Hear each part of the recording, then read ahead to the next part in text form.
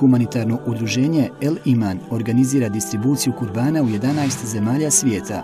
Humanitarno udruženje El Iman, naša djeca, naša budućnost. Donirajte svoj kurban danas.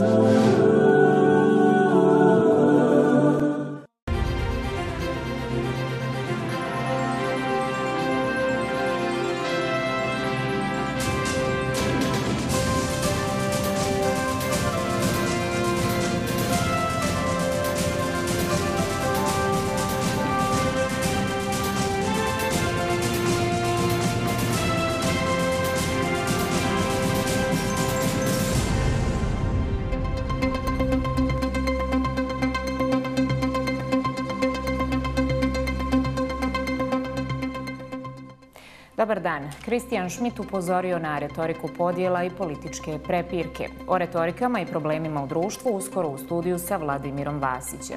Institut za istraživanje genocida Kanada predlaže usvajanje rezolucije Generalne skupštine Ujedinjenih nacija o Međunarodnom danu bijelih traka.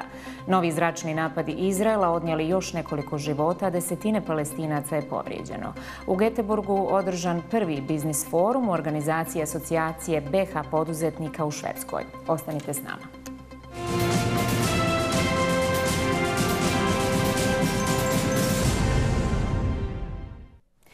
Kristijan Šmit upozorio na retoriku podjela i političke prepirke. One ne pogoduju nikome, rekao je Šmit prilikom sastanka sa komesarom za susjedstvo i proširenje Oliverom Varheljem u OHR-u. Sastanak tokom drugog dana posjete uslijedio je nakon jučerošnjeg učešća Varhelija na trećem političkom forumu na visokom nivou o evropskim integracijama Bosne i Hercegovine odličan razgovor sa EU komesarom Oliverom Varheljijem o političkim dešavanjima i perspektivama EU integracija Bosne i Hercegovine. Naglasio sam potrebu za jačim fokusom na budućnost i reforme koje će uskladiti Bosna i Hercegovina sa standardima Evropske unije. Političke prepirke i retorika podjela ne pogoduju nikome. Sociolog, gospodin Vladimir Vasić je sa mnom u studiju. Dobar dan i dobrodošli u Bosanski vjesnik. Poštovanje vama i vašim gledacima i hvala vam na pozivu. Prvi put na fejsu, ili tako? Prvi put i nadam se da će biti još prilike. Nadam se i ja. Evo dakle, e, imali smo priliku odmah na početku čuti nešto o EU reformama i samim blokadama koje do toga dovode. Nekako se zbog svih tih retorika koje smo i jučer čuli, e, čini da smo odustali od EU puta, bar e, dio političara koji čine državnu koaliciju, a znamo da zapravo bez svih karika ne možemo praviti reforme. Pa, znate kako, BH političar se ponašaju tako kako se ponašaju, pričaju ono što njima odgovara, pričaju ono e, dokle dok li smiju da idu. Oni poprilično e, koketiraju sa, sa Evropskom unijom, sa tim nekim e, kretanjima ka Evropi i nazad, ali najmanje, čini mi se, pažnje posvećuju ljudima, odnosno građanima u Bosni i Hercegovini. Običan čovjek, običan građan Bosne i Hercegovine, zastupam njih danas i uvijek zastupom javnosti običnog čovjeka, hoće u Evropsku uniju. Hoće bolji život. Neka se to zove kakva god unija. Ali mi hoćemo prosto E, bolji i što je najvažnije, sigurniji život. Želimo prije svega da je mir u Bosni i Hercegovini. Svi. I taj mir ne postoji e, u nacionalnom prefiksu, neki bošnjački, srpski, hrvatski ili ostali. Dakle, postoji mir i taj mir e, mora da bude. Čini mi se da je nama jedina perspektiva, poštujući naravno sve ostale geopolitička kretanja, interese diplomatske i svake druge, ali nama, naša perspektiva jednostavno ovog dijela Balkana ali Bosne i Hercegovine jeste pridruživanje Evropskoj uniji. Mi prosto ne znam gdje drugo da idemo. Ali, sa druge strane, e, moramo e, kao tradicionalni narodi ovdje u Bosni i Hercegovini, dakle sva tri naroda, e, moramo da sačuvamo ono po čemu smo zaista poznati. Dakle, da, da ne uđemo baš u tu Evropsku uniju, u tu ova, Evropsku zajednicu naroda potpuno ogoljeni bez ikakvih svojih kvaliteta. Znate, kad, ide, kad, kad idete negdje u svijet, nosite svoj identitet, nosite ono što je važno. E, mislim da bi e, političari, koliko to od njih teško očekivati, e, trebali e, da nas, odnosno to njihov zadatak, treba da bude nas vode u Evropu, ali ne da uđemo u Evropu kao e, bez uvrede bilo kome nekakvi prosjaci koji nemaju ništa. Ovo što nam oni danas rade i retoriku kako nam plasiraju političari Bosne i Hercegovine, e oni nas upravo vode takve. E, I jednostavno ni Evropska unija, ni ta velika zajednica naroda e, neće prihvatiti neku državu koja je, koja je potpuno opustošena, potpuno ogolila, ali e, BH političarima to odgovara iz prostog razloga što je s takvim ljudima lako manipulisati. Evo, sa, sa ovaj, tenzijama u Bosni i Hercegovini lako manipulisati. Zašto? Zato što smo mi postkonfliktna zajednica društvo koje, evo, moja generacija, koja sam mlad čovjek, osjetila na koži te neke nesrećne sukobe. I jako lako je manipulisati ljudima sa emocijama, manipulisati sa strahom, manipulisati i onda na sve to im kažete idemo u Evropu. Onda su ljudi zbunjeni, ne znaju gdje idu, ne znaju šta ih čeka, plaše se nečeg novog. Onda kažu i ne idemo pa opet idemo. Pa naravno, naravno, znate kako, prvo prvo zaprijete nekom velikom tenzijom, a najveća tenzija u svakom društvu je rat, I onda spuste loptu i kaže, e, evo, mi ćemo da vas štitimo od toga. I onda smo mi prosto uplašeni, e, zbunjeni, kao da se vrtimo u nekom začarnom krugu. Ovaj, onda neko dođe, ponudi nam, ponudi nam neku, neku Evropu, neku uređen sistem, neki sistem gdje nema korupcije, gdje nema... Onda mi prosto smo uplašeni. A znate kome Evropa ne odgovara? Ne nam, običnim ljudima, nego ljudima koji sjede na, na, na tim nacionalnim stolicama u političkom smislu zato što će udariti na njih. Udarit će na njihove e, e korupcionaške e, ove korporacije i njihov način rada. Ovo što se radi u Bosni i Hercegovini, kako se politika vodi, pa to vjerujte ne može proći ni, ni, ni, ni u najgorem slučaju u Evropskoj uniji. E zato oni nas ovako sporo i traljavo i, i rekao bih nikako ovaj, ne vode ka Evropi zato što se plaše. Što mhm. ne bi prošle ovakve retorike u nekom bar malo uređenijem sistemu. Kad ste rekli da nam je nekako jedini put e, zapravo Unija, Evropska Unija, s druge strane, evo, na primjer, Milorad Dodik je sinoć, e, čini mi se, otišao ponovo u Rusiju na ekonomski forum. Ovaj, nakon što je e, bio na ovom sastanku na forumu sa Varheljem i ostalim zvaničnicima iz Bosne i Hercegovine i izrazio da nije optimističan kad je reč o EU putu. Mislim, sve je to dio te retorike, retorike razdruživanja i tako dalje. Sve ono što mi slušamo konstantno i ono što ste i rekli, sijanje straha, jer smo postkonfliktno društvo, ali nekako e, zamjena teza je na sceni i uporno građani kao da ne shvataju da političari rade za njih, za njihovo bolje danas, njihovo bolje sutra. E, dakle, za bolje sutra političara rade, sigurno. Sebi. Da, naravno. Ali hoću da kažem da mnogo ljudi zaista teško živi. Dakle, eh, gladan stomak, eh, plus strah zaista razboljeva društvo i možemo to da vidimo na mnogo faktora, mnogo je nasilja. Dakle, apsolutno smo e, nekako dotakli neko dno, a naravno e, oni nas vode tamo. Pa kako? Evo, e, imamo toliko uslovno rečeno kazni za političare od sankcija i raznih nekih drugih stvari. Ali nikako društvo da kazni ono što upravo društvo i urušava. Nikako mi da kaznimo. Da, rekao sam ja da Evropa mhm. nema alternativu. Mhm. Ali zašto da ne? Da mi sarađujemo i sa Rusima, sarađujemo sarađujemo i sa uh, islamskim zemljama, uh, da sad uprostim skroz, ko nam da para? Zašto da ne uzmemo taj novac? Zašto da ne uzmemo investicije? Ne treba da nam se gade ni, ni arapski, arapski novac, ni ruski novac, ni evropski novac, ni američki novac. Ako neko daje, je problem što ne daju. Zato što u ovako stanje države, ko će da ulaže investiciju? Ko će da dolazi? Ko investitor će da dođe u društvo gdje se priča o sukobu? Niko normalan. Dakle, to je jedan, jedan, jedan ovaj, užasan problem i dobro ste spomenuli to, postavlja liko pitanje e, kako je mentalno zdravlje našeg stanovništva. Ljudi koji su e, pretrpili šta su pretrpili. I imamo evo slučajeve dakle, da ta generacija od 50 pa gore, dakle ljudi 60, 50, 60 godina, 70, šta rade? Rade užasno teške zločine. Dakle, porodična nasilja, ubijstva, samoubistva, ubijstva na štetu žene, na štetu djece. Dakle, Pogledajte koja generacija to radi. Ljudi koji su pretrpili rat, ljudi koji su demobilisani borci, govorimo svim sad i pripadnicima armije BiH i Vojske Republike Srpske HVO i nevažno gdje su ti ljudi bili, jer su morali da budu u datom trenutku. Dakle, oni danas čine užasne zločine na štetu sebe, svoje porodice, svoje djece. Zašto? Zato što su obespravljeni. Zato što ljudi e, izgube, izgube vjeru u institucije, izgube vjeru u, u neko bolje sutra. Vidjeli ste neki dan očajnički potez oca i muža u Tuzli, šta je uradio. Dakle, e, ubio je mladost, ubio je budućnost svoje djece, svoje supruge na kraju krajeva sebe. Zašto to osobe te rade? Zato što ne vide nikakvu perspektivu za budućnost. Vjerujte, evo, pratim, E, pratim dešavanja u Bosni i Hercegovini, izuzetno vidim šta se dešava i sa druge strane, iza paravana, što naš narod kaže, ali meni koji razumijem to i dobro razumijem, proradio osjećaj straha nedavno kad se pričalo o nekim podjelama, o nekim ratom, o nekim sukobima.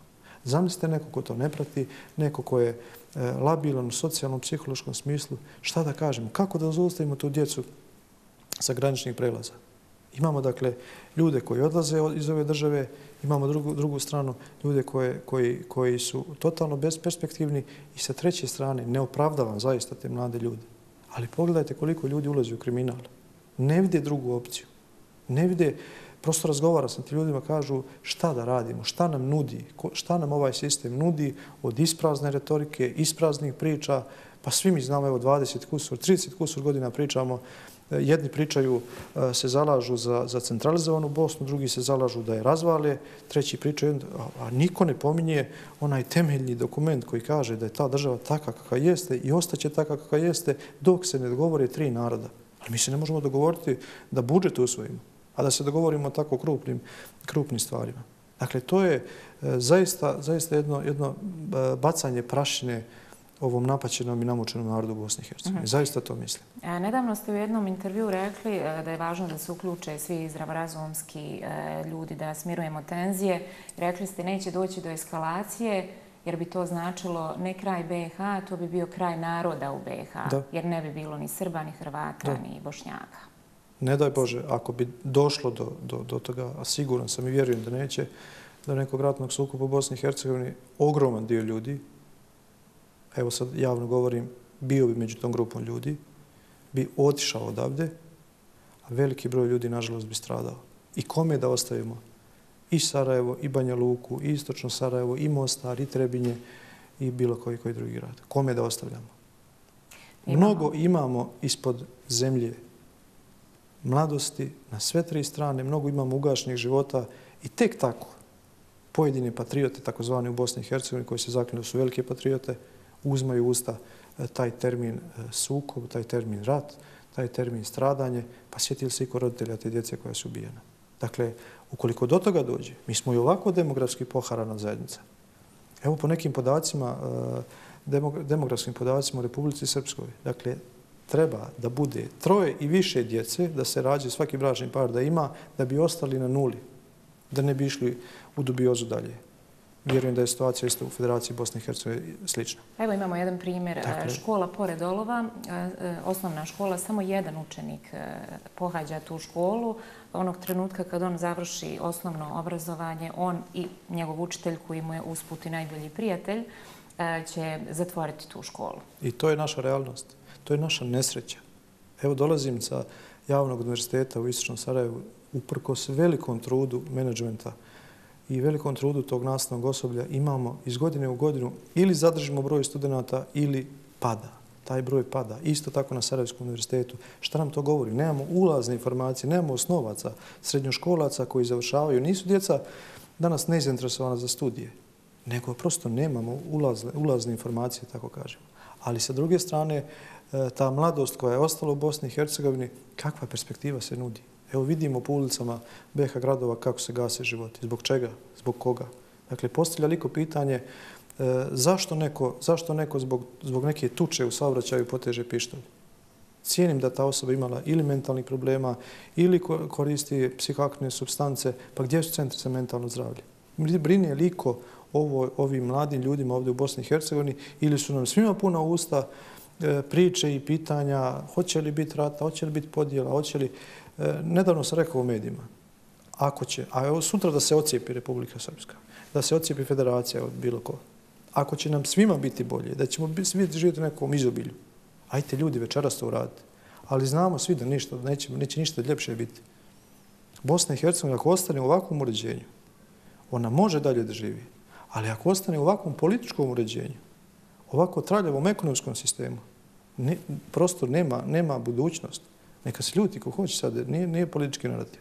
Prosto mi nemamo investicija, nemamo ljudi koji ulaze sa strane. Jer postavljamo ona ključna pitanja e, za čiji interes radiš, kome, koliko trebaš, koliko treba da uložiš. Nedavno mi je e, žena iz Njemačke rekla, kaže, vjerujte, ja hoću da ulažem ovdje u vašu državu, ali vaša administracija je tako teška jer prosto nemoguće. Dakle, e, pojedincima koji žive paralelni svijet u Bosni i Hercegovini, znamo ko je ta elita. Njima je odlično. Pa oni, oni su danas ovdje, sutra su na Karibima i da, da dođe do sukoba, oni će jednim klikom da odu. I oni žive paralelni svijet. Ja razumijem da oni ne znaju kako je vraćati ratu kredita, kako je vraćati ove, plaćati račune, kako je... Pa pitajte, evo, BH političara, sad znaju li e, koliko košta e, cijena goriva, koliko košta struja, koliko košta gas i tako dalje. Ne znaju, zato što ih ne interesuje. Ali se ljutim na nas, obične ljude, koje, koji će e, vrlo brzo na, na, na, na tu zapaljivu retoriku da, da jedni drugi moći vadi. Mm -hmm. E, to je problem, to je naša nesreća. Dajte ljude da sjedemo, da se, da se razgovara. Ima mnogo tema o kojima možda ne možemo konsenzus naći. Ajde da približimo barem te stavove. A ne stalno da idemo e, Srbi na Bošnjaki, Bošnjaki, Bošnjaci na Srbe, Hrvati na Bošnjaki i obrnuto. Samo se nešto peckamo, nešto se bodemo nekim, nekim e, užeglim e, noževima iz prošlosti. Užasno je to, iza nas što je prošlo. Ajde bar da, da, da idemo za budućnost. Evo pogledajte, divni grad iza nas. Pa dajte da to malo razvijamo, da, da malo idemo naprijed. Radni su ljudi ovdje. I mi ne očekujemo ništa ekstremno veliko. Ali očekujemo bar da se ne priča, evo bar na deset godina da se ne priča o nekom sukupu. Tako da mislim da opet vjerujem u neke mlade ljude, neke dobre česte ljude koji će doći, jer prosto biologija ne igra na strani ovih koji su danas mm -hmm. najglasniji i vjerovatno eh, oni su svjesni eh, da su kao potrošni materijali, da će vremeno morati otići u političku penziju zasluženo ili zasluženo, ali prosto takvi narativ ih neće održati E, na političkoj sceni. Bilo koga. Dakle, ne, ne govorim pojedinačno, nego, nego ljude koji očito imaju dobru, dobru političku saradnju. E, dakle, e, igraju na kartu dakle, nepomirenja, odnosno nesuočavanja sa prošlošću, jer je to kod nas nekako misalna imenca onog trenutka. Ako bismo zaista sjeli, suočili se i riješili te probleme, sve bismo se lako nadalje dogovorili, ali to upravo izbjegavamo ne zato što nam je to možda i ideal, nego zato što imamo neki politički cilj. Šta su toliko veći ciljevi od samog društva, jer ako svi odu odavde, ko će... Ovaj... Pa što mislite jednu političku izbornu kampanju da se ne priča o ratu? O čem bi nam pričali? Jer su pojedinci nesposobni da pričaju bilo šta o budućnosti, jer ne znaju o tome samo ajmo vrtiti prošlost, prošlost, prošlost, Mislite prošlost. Mislite da će se naredne godine, pošto ovo izborna godina, i bez obzira što su lokalni izbori i skroz su neke druge infrastrukturne teme. To je uvertira za, za ove državne izbore, opipavanje terena. Pa evo pogledajte na primjeru e, predsjednika Srbije Vučića. Smiju se nekad ljudi, kažu, on priča o nekim letećim taksima. Ja se nadam da ćete biti od toga nešto. Ovi naš priča o 92. 95. Pa jesmo, jesmo li mi ludi kao, kao birači, ili, ili ovi što pričaju o budućnosti nekoj koja je svjetlosnih godina od nas daleko ovdje u Bosni i Hercegovini. Mi se vraćamo 30 godina nazad, Vučić ide 30 godina naprijed. Mada on obećava da će to biti mnogo ranije. Dakle, tu je nešto do nas ne, neštima. Da kažemo jednostavno, hvala vam, lijepo ste nas doveli gdje jeste, ajte finu zasluženu penziju, znamo mi biti Srbi, Hrvati, Bošnjaci bez vas. Nemojte nas vi učiti ka, ko će biti veći Srbin, ko će biti veći Hrvat ili Bošnjak. Ja sam Srbin, evo 33 godine i vjerujte, nije me naučio tome ni, ni Dodik, ni, ni, ni bilo ko drugi. Ja sam to što jesam. Isto tako znam moji ovaj, prijatelja i braće Bošnjaka i Hrvata koji su odlično naučili ko su i bez Čovića, bez Izbegovića i bilo koga. Ali oni nama ubjeđuju nas ko je veći Srbin, ko je manji Srbin, ko je dok se njima obećavaju nulice na računu. E to je pro problem našeg mentaliteta ovdje u Bosni i Hercegovini. Nažalost, evo kad smo se dotakli izborne godine... Nažalost. dakle, izbori su tek u oktobru. Kakvih još retorika i kojeg pojačavanja intenziteta možemo očekivati s obzirom na već viđeno? Pa dok se sve asfaltiraju ulice, čini mi se da ne, nema više ni makadama, sve su preasfaltirali. To je glavna tema da se asfaltira, da se radi. Ovaj, pa bit će retorika, retorika manipulacije, retorika straha. Najmanje ćete čuti retoriku E, nekih ulaganja, retoriku neke budućnosti. Pa kad ste evo zadnji izborni ciklus čuli neki program od nekog političara kaže ja nudim nešto, pa neki laže. Mi smo učili da oni ne govori istinu često.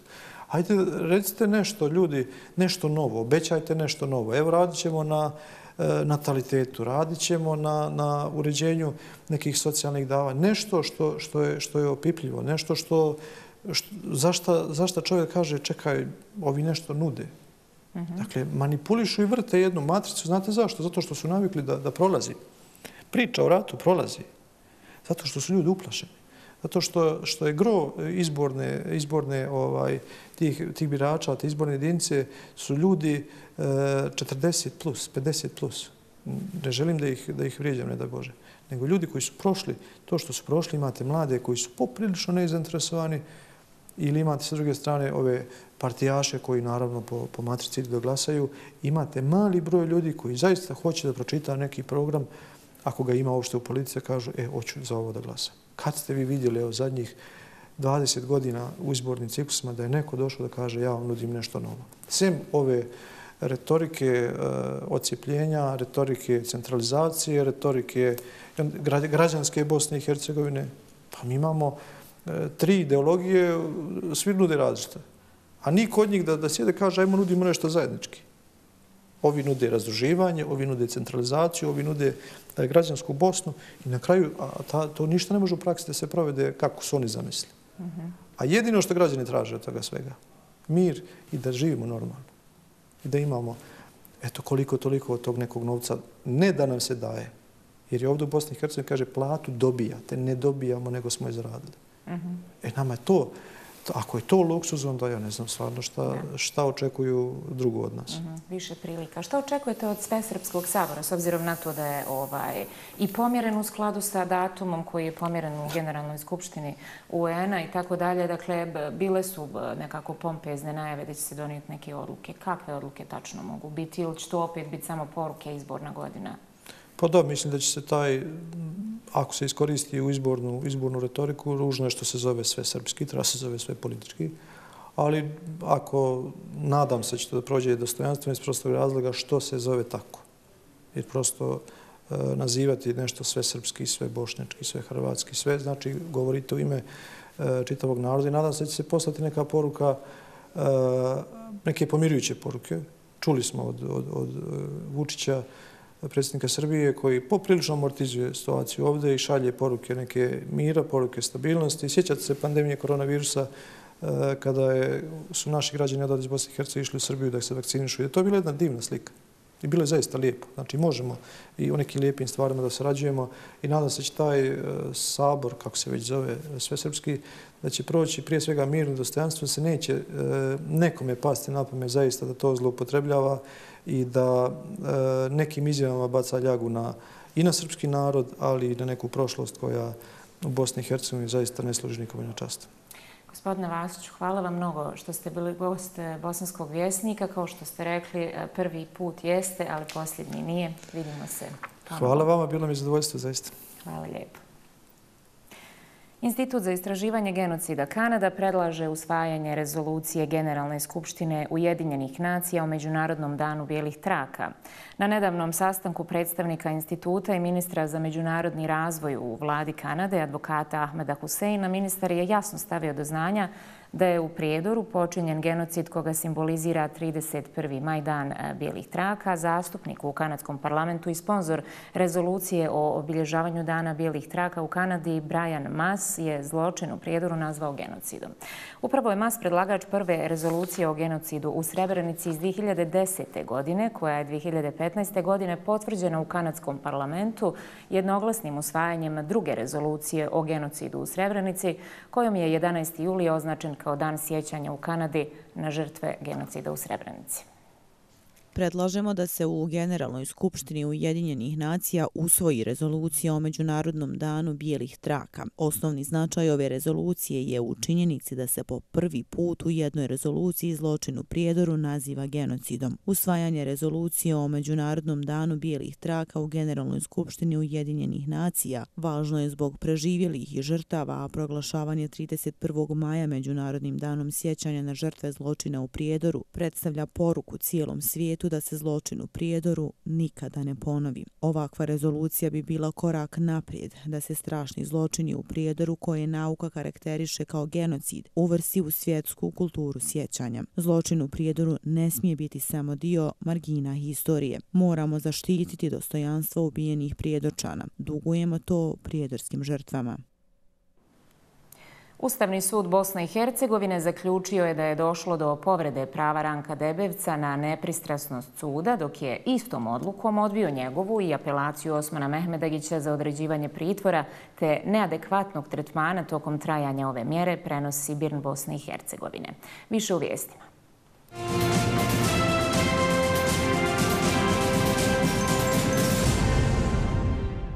Ambasador Bosne i Hercegovine pri NATO u Vanja Filipović izjavio da NATO pomno prati situaciju na Balkanu. Potrebno je ubrzati euroatlantske integracije kao jedini dugoročni odgovor na destabilizirajuće prijetnje secesijom, izjavio Filipović. Pripadnici oružanih snaga Bosne i Hercegovine na Manjači izvode vježbu dinamičan odgovor 24.4, zbog čega je u tom dijelu obustavljen saobraćaj. Razlog obustave saobraćaja je bojevo gađanje koje je planirano tokom ove vježbe. Vježba ima za cilj procjenu spremnosti i obučenosti zapovjedništva jedinica o izvođenju širokog spektra operacija. Dragan Čović izjavio da je ponosan što je hrvatski narod ostao nezaobilazan politički faktor bez koje vlast ne postoji. Uspjeli smo približiti Bosnu i Hercegovinu zapadnim tekovinama, a vjerujem da bismo to učinili i ranije da nije bilo neprekidnih napada na Bosnu i Hercegovinu, poručio Čović. Emir Suljagić prijavio da je dobio ozbiljne prijetnje od Hamdije Fejzića i njemu bliskih ljudi, te se prijavio nadležnim organima. Suljagić poručio. Suljagić poručio. Očekujem da se Fejzić ukloni sa pozicije predsjedavajućeg upravnog odbora Memorialnog centra. Muhamed Avdić ostao bez podrške SDP p-a u njegovoj kandidaturi za poziciju načelnika Srebrenice. Alija Tabaković potvrdio da će SDA podržati Hamdiju Fejzića, dok Čamil Duraković poručuje da su dešavanja u Srebrenici jadna. Osam identificiranih žrtava genocida za ukop 11. jula u Potočarima. Iz organizacijonog odbora navode da se pripreme za obilježavanje odvijaju prema planiranoj dinamici.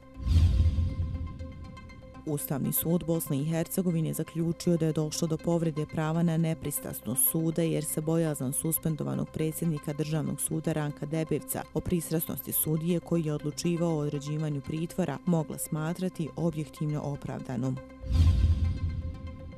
Nakon kraće bolesti u 65. godini života preminuo bivši glavni tužilac Goran Salihović. Sipa u istočnom Sarajevu uhapsila muškarca koji je u Srbiji tražen zbog teškog ubistva. Uhapšeno lice predato sudi za ekstradiciju suda Bosne i Hercegovine nadalje nadležno postupanje.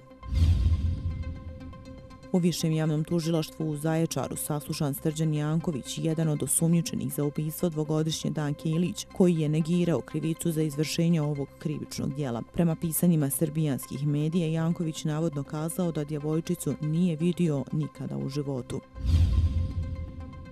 Opozicionije partije u Beogradu pozvale građane na proteste, a zastupnike da napuste Skupštinu Srbije zbog navodne izborne krađe. Francuska policija traži napadača koji je ispalio više metaka u pravcu jednog restorana i ubio najmanje jednu osobu. Prema pisanjima francuskih medija, muškarac došao na oružan u restoran pun ljudi i pucao u pravcu muškaraca koji su sjedili za stolom.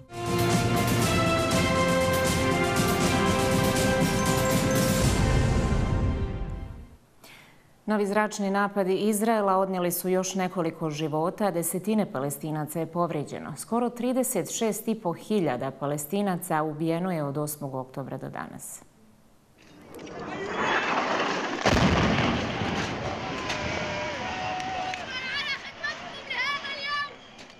Izraelska vojska nastavlja sa napadima u Gazi. Srušili su zgradu Al-Magazi koja se nalazi u centralnom dijelu Gaze. U novim zračnim napadima ubijeno je najmanje osam palestinaca u gradu Deir al-Balah. Desetine osoba je povređeno. Povrijeđeni su prebačeni u bolnicu zapražnim kolima zbog nedostatka goriva. Pogođeno područje je prepuno ljudi jer ga je izraelska vojska označila kao sigurnu zonu. Izraelska delegacija otputovala je u Kairo kako bi razgovarali o nacrtu prijedloga za prekid vatre i razmjenu zarobljenika. Ni Izrael ni Hamas zvanično nisu potvrdili trajni prekid vatre, izjavio je glasnogovornik State Departmenta Matthew Miller about a proposal that they put forward that is with Hamas. Svijet bi trebao znati, palestinski narod bi trebao znati da je jedina stvar koja stoji na putu trenutnom prekidu vatre Hamas. Prijedlog na stolu je skoro identičan onome što je Hamas rekao da će prihvatiti prije samo nekoliko sedmica, a sada je vrijeme da djeluju. Vrijeme je da prihvate dogovor. Vrijeme je da se finalizira ovaj sporazum i stane na kraj patnji Izraelaca i Palestinaca.